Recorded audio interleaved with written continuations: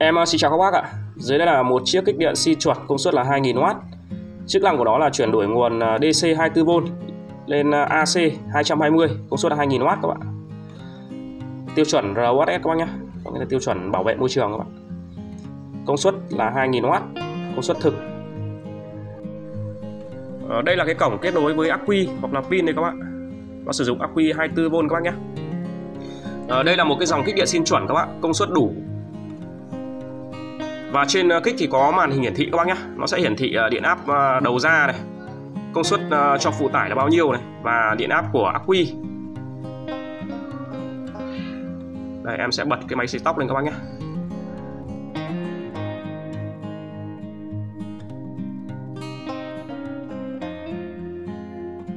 à, và dưới đây là những mẫu kích thông dụng nhất mà anh em hay sử dụng ạ.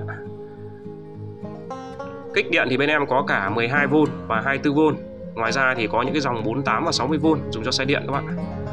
Đấy, Bên em sẽ làm một cái báo giá tới các bác những cái dòng kích 12V trước các bạn. 12 và 24V à, ờ, Đây là mặt sau của kích 12V 1000W các bạn.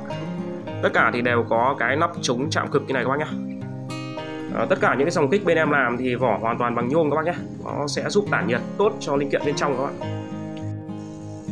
Đây nó chính là cái ổ cắm ra điện 220 các bạn. Ổ cắm thì cũng được làm theo tiêu chuẩn của châu Âu kích cũng khá là to các bác nhé. Đấy, sóng xin chuẩn công suất là 1000W và điện áp đầu vào là 12V Đấy, điện áp đầu ra là 220 điện áp à, 12V này các bác phải thể lấy điện từ ắc quy hoặc là những khối pin à, lithium. Công suất cho tải liên tục là 1000W kích xin chuẩn thì điện nó ra như điện lưới các bạn nó chạy nó không ảnh hưởng đến thiết bị giống như những cái dòng kích sóng xin mô phỏng. À, đây là thông số cụ thể của chiếc kích điện 12V công suất là 1000W đây các bạn. Thì ờ, công suất cho phụ tải tối đa là 1000W các bác nhé. Còn nó sử dụng ờ, điện áp đầu vào là 12V, điện áp đầu ra chuẩn là 220, tần số 50Hz. Giá của mẫu kích 12V 1000W xin chuẩn này là 2 triệu 3 các bạn. Bên em bao phí vận chuyển các bác nhé.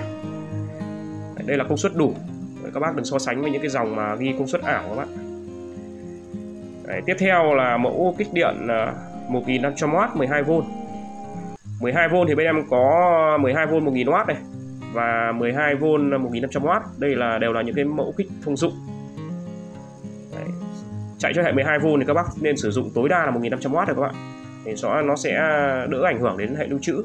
Còn các bác dùng ờ, công suất lớn hơn thì nó sẽ rất hại các bạn. Tại vì dòng xả nó rất lớn. Ờ, nếu phụ tải của các bác chạy đủ 1500W thì có nghĩa là cái dòng xả của ác quy ra là 125A các bạn cái dòng xả 125A nó rất là lớn các bác nhé. Đấy, chính vì vậy nên là dùng cho hệ 12 thì gần như là chỉ là 1500W trở lại thôi. Đấy, còn nhiều shop người ta bán tới ờ, 3 4 nghìn W thì công suất thực của nó thì cũng chỉ khoảng 1500W trở lại thôi các bạn nó sẽ không thể lớn hơn được. Nếu các bác ờ, dùng lớn hơn thì lên dùng hệ 24 thì nó sẽ tốt cho hệ lưu trữ hơn các bạn. Đây là kích 24V 2000W và bên em vừa mới chạy test cho khách ạ. Các bác cần công suất lớn hơn thì lên sử dụng hệ 24 hoặc 48 thì nó sẽ tốt cho hệ lưu trữ hơn. Còn à, dùng à, hệ 12 thì các bác dùng tối đa 1500W trở lại thôi. Đây là công suất thực các bác nhé. Giá của mẫu kích điện 12V công suất 1500W là 2 triệu 8 các bạn Tất cả những dòng kích bên em làm thì đều có màn hình hiển thị các bác nhé. Tiếp theo là một cái mẫu kích điện cũng khá là thông dụng. Đó là mẫu kích 12V công suất là 1000W Giá là 2 triệu 3 các bác nhé. Bên em bao phí vận chuyển ạ.